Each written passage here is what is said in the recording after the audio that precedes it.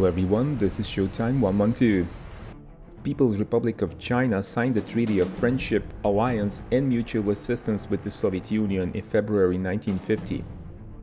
It included Soviet assistance in training a modern air force, but also air defense for key facilities until Chinese units gained adequate experience. Soviets deployed a number of piston engine aircraft, but also their latest MiG-15 jet fighters to China, and some of them were engaged in combat against the Chinese nationalist forces. MiG-15s were credited with shooting down one reconnaissance F-5 Lightning and one B-24 Liberator in April and May 1950. From July, Soviet aviation units were no longer involved in combat and they focused on training Chinese pilots. But this situation was about to be changed by the events in the Korean Peninsula. After the initial success against the South, North Korean units were pushed back by UN forces led by the USA. People's Republic of China perceived this as a threat, and once UN troops crossed the 38th parallel, the decision was made to come to North Korea's assistance. Soviet Air Force units deployed in China were given the task of air cover for Chinese ground troops two fighter aircraft divisions, 151st and 28th, comprising of two regiments each deployed to airfields of Anshan, Mukden and Liaoyang. Those were former Japanese fighter bases, barely suitable for jet operations. In order to mask Soviet participation in the conflict, the airplanes carried People's Republic of China insignia, and pilots were given Chinese uniforms. They were also not allowed to fly south of Wonsan-Pyongyang line, or over the sea to avoid capture by the UN forces.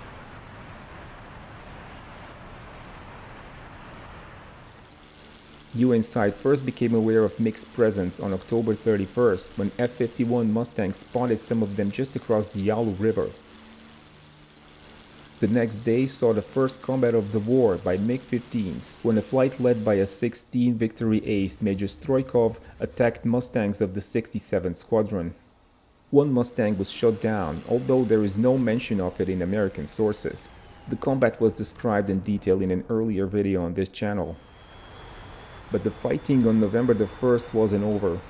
Another flight of MiG-15s was sent towards Yalu River at about 3 p.m. Four airplanes from the 72nd Guards Regiment led by Major Bordun arrived over the North Korean border, but were then told by ground control to return to Anshan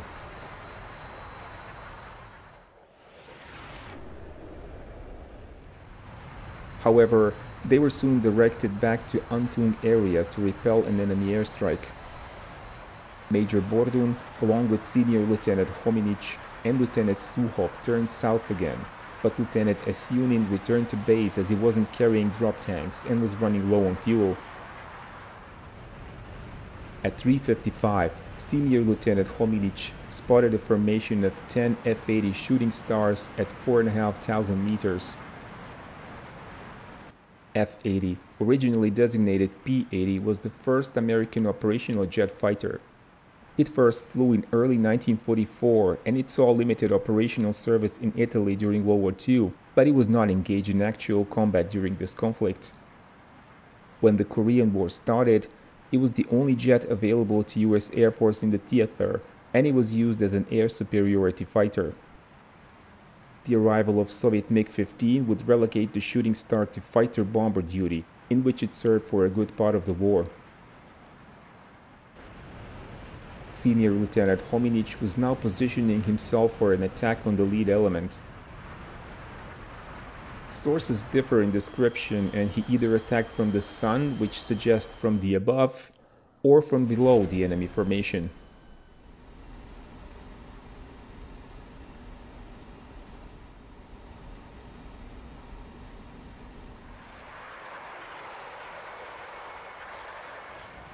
He opened fire from about 200 meters and claimed the kill.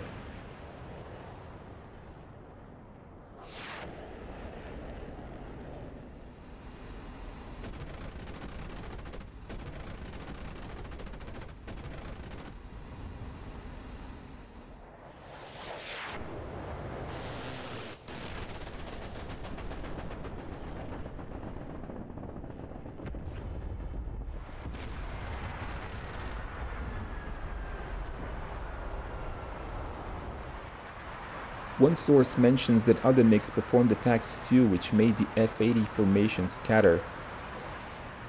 American sources don't record any combat with MiGs on that day, but they do show the loss of one shooting star.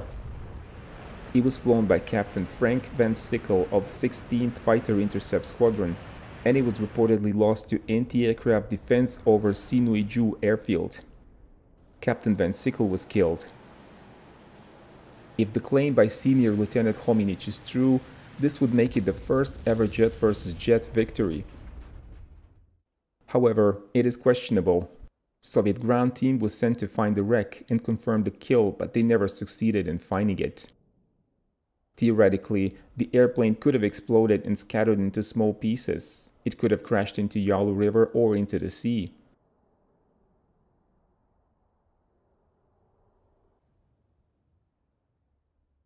It is also unusual that nine F-80 pilots didn't notice a MiG shooting down an aircraft in their formation. A cover-up is a possible explanation, but now we are entering heavy speculation territory. Exactly one week later, an F-80 pilot would claim a kill over a MiG-15 and that is usually described as the first jet versus jet aerial victory. That one, however, is similarly disputable because Soviet sources claim the MiG-15 survived, but that is a story for another video. If you liked this one, be sure to press the like button. This requires minimum effort, but it greatly helps the channel. You can help even more by joining our Patreon supporters or by donating on PayPal. Thank you and keep watching Showtime 112.